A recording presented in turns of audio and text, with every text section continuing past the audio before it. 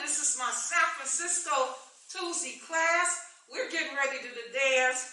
Got to give it up, but we put a little remix on it. I just taught it to them, so be patient. But they're doing good. Hey, you guys ready?